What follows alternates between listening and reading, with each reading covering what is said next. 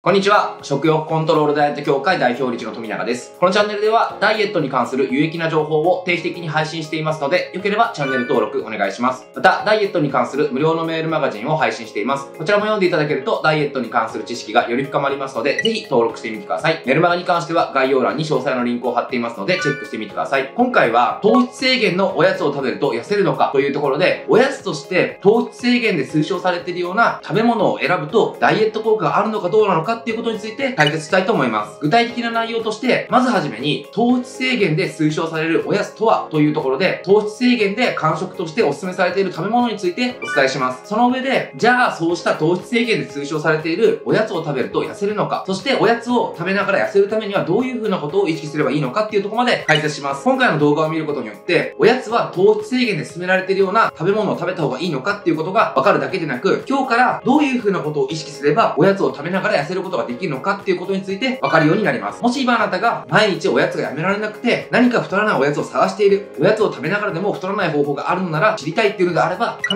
ず今回の動画を最後まで見るようにしてください。では早速内容論に入っていきます。まずはじめに、糖質制限でおすすめされるおやつっていうところなんですけど、まあ、糖質制限っていうと当たり前ですけど、食べ物に入っている糖質の量を制限してるので、おやつでも糖質量が少ないものがおすすめされています。で、おやつっていうと、一般的にはクッキーとかケーキとかアイスとか、いわゆるその糖質が多いものっていうのが食べられるんですけど、糖質制限だとそういうのを食べてしまうと糖質量がオーバーしてしまうのでダメだって言われてるんですね。こうした時に糖質制限では何が推奨されてるのかっていうとこなんですけど、糖質制限中のおやつとして推奨されているものは代表的なものとして3つあります。まず1つ目がナッツです。ナッツっていうのは何かっていうと、アーモンドとかくるみとかそういうものですよね。で、ナッツっていうのは糖質が少ない、そして満足感が高い、しかも体にとって必要な脂質が含まれている食べ物だというふうに言われています。で、このナッツっていうのは栄養価が高いので、少量で満足感が得られやすいんですね。糖質も低くて満足感が得られやすいので、糖質制限中の間食としてお勧めされているものになります。で、糖質制限中の間食というと、もう一番最初に言われるのが、このナッツなんですね。なので、このナッツは糖質制限中のおやつの代表例として知っておいてもらえるといいかなというふうに思います。そして、二つ目が卵です。糖質制限というと、糖質が入っていないもの、そしてその中でもタンパク質が豊富な卵っていうのがかなりお勧めされます。卵っていうのはコレステロールが高いので食べる量を控えてる人っていうのは多いんですけど、この実は卵っていうのはコレステロールは気にしなくていいっていうのが分かってるんですね。そういう風なのが言われてるので、糖質制限でも卵は積極的に食べてくださいっていう風に言われます。間食としても、この卵をお勧めされることが結構あります。そして3つ目がチーズです。チーズっていうと、普通のダイエット中の人であれば、やっぱりカロリーがある程度高いので、控えたいものとして挙げられるんですけど、糖質制限食としては糖分が入っていない、しかも満足感が高いものとして結構勧められるんですね。で、この3つっていうのはですね、私が糖質制限を推奨しているドクターに聞いた時に、すぐパッて上がった3つで、私が糖質制限した時も、よく挙げられたのはこの3つだという風に思ってます。これに加えて、低糖質スイーツって言われるような、糖分が入ってないけど甘みをつけているような甘味料を使ったスイーツっていうのも推奨されています。糖質制限っていうのはですね、間食一つで取っていい糖分量っていうのは大体 10g って言われてるんですね。さっきの話で言うと、ナッツであれば、くるみだと大体20個ぐらい、アーモンドだと10個、そしてカシューナッツは糖分がちょっと多いので5個とかで大体 10g になるんですね。チーズとかゆで卵に関しては、おそらく満足できるだけ食べても 10g を超えることはないと思います。とにかく糖質制限中のおやつっていうのは糖分が入ってないもの、糖質が低いものであれば OK だよっていうところで今挙げた3つっていうのがお勧めされます。じゃあ、おやつで糖分が含まれてない糖質制限で推奨されるようなおやつを食べると痩せれるのかっていうとこなんですけど、これはそんなことはないですよね。糖質制限の理論っていうのは太るか太らないかはカロリーじゃなくてインスリン、血糖値を下げるホルモンの分泌量によって決まるというふうに考えられています。で、このインスリンっていうのは血糖値が上がった時に下げるために作られるホルモンなんですけど、このインスリンっていうのは血糖値を下げるだけじゃなくて脂肪の蓄積を促すホルモンだというふうに言われています。なので、糖分が少ないもの、さっき言ったナッツとかチーズとかゆで卵を食べて血糖値が上がらなければインスリンも作られないので、カロリーがオーバーしても脂肪は蓄積されないんだよっていうのが糖質制限の理論なんですね。けど、インスリンっていうのはですね、脂肪蓄積の一つの要因でしかなくて、基本的にはですね、脂肪が蓄積されるかどうかっていうのはトータルカロリーなんですね。自分の体が処理できる以上にカロリーが蓄積すると、インスリンがくら少なくても脂肪は合成されます。もちろんですね、カロリーがオーバーしてる時にインスリンがたくさん分泌されれば、それは脂肪は蓄積されやすいですし、カロリーがオーバーした時にインスリンの量が少なければ、脂肪は蓄積されにくくなるとは言えます。ただ、インスリンがいくら分泌されてなくても、カロリーがオーバーしてしまえば、脂肪はつくんです。で、そうした時に、さっき挙げた、ナッツとかチーズとかって、結構やっぱカロリーが高いわけですね。確かに体に必要な栄養っていうのが豊富に入ってます。ただ、それでも、あ、糖質が入ってないからたくさん食べていいんだと思って、たくさん食べると当たり前ですけど、太ります。しかも、糖質制限をして主食を取ってない人、そういう人の中で間食をしたくなる人っていうのは、体が糖分を欲してて間食をしたくなってる場合っていうのが多いんですね。糖分っていうのは体にとっての主なエネルギー源ですので、それを主食で取らないっていうことは、体はエネルギー不足だって感じて、食欲を強めるわけです。その結果、間食欲が強くなって、間食を食べたくなる。そうした時に、体が糖分を求めて間食をしたいっていうサインを出してるのに、糖分が入ってないお菓子を食べても満足感っていうのは低くなるんです。甘いものが食べたいなっていうのは、糖分が足りてないっていうサインなんですね。で、その時に、低糖質スイーツのような甘みはあるんだけど、糖分が入ってないものを体に入れると、なんか一時的には満足した感じがするんだけど、本当の欲求である糖分ってのは入ってないので、満足感が得られずに、結局、低糖質スイーツをたくさん食べてしまったりするわけですね。なので、糖質制限をしてて、間食欲が強くて、間食をする人は、こういう風な糖分が入ってないものを食べると、体が求めてるような糖分を得られないので、満足できずに、結果的に食べ過ぎてしまって、カロリーオーバーになるわけですね。なので、糖質制限でお勧めされているような間食を食べたから痩せるかって言われると、そういうことがなくて、逆に太る人ってのが多いという風に考えてください。じゃあ、おやつ、間食っていうのはどういう風な点に注意すればいいのかっていうとこなんですけど、間食で太らないようにするためのポイントっていうのは主に7つあります。まず1つ目は、間食では太らないっていう思考を持つっていうことになります。どうしてもですね、ダイエットというと、間食をすると絶対痩せれないって考えてる人って多いんですよ。特に甘いもの、アイスとかケーキとかを食べると、痩せるのは無理だって思ってる人は多いんですけど、そんなことは全くなくて、毎日のように間食を食べても、結局それでトータルのカロリーがオーバーしなければ太らないわけです。で、これが例えば、ケーキを間食として食べても、その後の食事っていうのが軽くなって、トータルカロリーが低くなれば、太ることはないんです。で、この時にですね、え、じゃあそんなラーメンとかケーキとか毎日食べても大丈夫なんですか？結局カロリーなんですかっていう人いるんですけど、それはもうその通りで、結局はカロリーなんです。毎日ケーキを食べても痩せることはできます。ただ、ケーキとかラーメンとかお菓子とかっていうのは食欲を乱しやすくて、食べ過ぎを招きやすいんですね。毎日ケーキを食べても食欲が乱れない人は正直痩せることはできます。ただ、毎日ケーキを食べることによって、それがきっかけで食欲が乱れて食べ過ぎてしまう人っていうのは太ってしまいますので、注意してください。とにかくですね、間食を食べたから痩せれないっていう思考は間違っているので、そこは思考を改めてください。そして二つ目は、間食には果物がおすすめです。糖質制限をしてると果物って太る食べ物だとして、間食とかで食べない人、むしろ食事の中から果物を除去する人って多いんですけど、果物っていうのはですね、水分が多くて、しかもビタミンとかミネラルとか栄養も豊富なんですね。実は満足感がかなり高い食べ物なんです。しかも甘みもあるので、甘いものを食べたいっていう体の欲求も満たしてくれます。なので、もし間食で果物が食べれるような状況なのであれば、一旦果物を食べるっていうことをやってみてください。果物っていうのは、さっき言ったように満足感が高いだけじゃなくて、カロリーも低いわけですね。なので、間食としては一番おすすめのものなんです。もしあなたが果物が嫌いでなくて、太ると思って食べてないっていうだけであれば、間食に果物を入れるような工夫をしてみてください。そして、三つ目が飲み物を使うっていうことです。間食をするときに食べ始めたら止まらなくなる人って結構多いと思うんですね。で、そうしたときに、ある程度ちょっとの間食をした後に何か飲み物、何でもいいです。あなたが好きな飲み物ってのをとりあえず入れてみてください。そうすることで食欲が落ち着いて間食の量ってのが減ります。もしくは間食をする前に飲み物を飲んでみて間食をする。これだけでも飲み物である程度満足感が得られてるので間食ってのは少なくなります。もちろんですね、飲み物に関しても甘みが強いようなカロリーが高いようなものっていうのはあんまりお勧めできないんですけど、もちろんですね、間食プラスクリームたっぷり甘みたっぷりのような飲み物を飲んでしまうとカロリーをオーバーしてしまうんで、それはちょっと避けてほしいんですけど、何か間食とブラックコーヒーとか間食と紅茶のようにカロリーが低い飲み物ってのを組み合わせるだけでも間食の量っていうのは減りますので、ぜひやってみてください。そして4つ目が好きなものを選んでください。で、これは何かっていうとですね、間食っていうのも結局トータルカロリーを下げるために全体量を少なくしたいわけです。全体量を少なくするときに結構ポイントになるのが自分が好きなものを食べたかどうかっていうとこなんですね。ダイエットしてるとみんな太るか太らないかで間食するものを決めるんですけど、これは太らないから自分が好きではないけど太らないものだから食べていいって思って食べると結果的に量が多くなってしまうんですね。それよりも多少カロリーが高くてもケーキとかアイスとかであっても自分が心の底から食べたいって思ったものであれば割とですね、少量で満足できるようになるんです。これ、そんなこと絶対ないと私は好きなものを食べ始めたら止まらないって思う人多いと思うんですけど、それは普段から我慢してるだけで、実際やってみるとそんなことないんですよ。あ、もちろんですね、これまでずっと禁止していたものを解禁するタイミングっていうのは結構大事なんです。自分の欲求が限界に来た時に禁止していたものを食べると反動で食べ過ぎてしまうんで、それは避けた方がいいんですけど、間食を選ぶ時っていうのは何よりも太る太らないじゃなくて自分が好きか嫌いかっていうところを基準に選んだ方が結果的にトータルカロリーが下がります。そして何か禁止してるものがあるんであれば、その禁止食品を解くタイミングっていうのはですね、詳しく説明した動画のリンクを概要欄に貼っていますので、ぜひチェックしてみてください。そして5つ目がガムを活用するっていうことです。何か決めた感触が終わったのに少し物足りないなと思ったら、ちょっとガムを噛んでみてください。で、これは何かっていうと、人間ってですね、食べてすぐはですね、満足感が起こりにくいんですね。で、食べて少し時間が経った後に満足感っていうのは起こりやすいんです。なので、そのタイムラグの間は少しガムを噛んでごまかすっていうことをやってみてください。ガムも抵抗がある人は多いと思うんですけど、はっきり言ってガムなんか食べても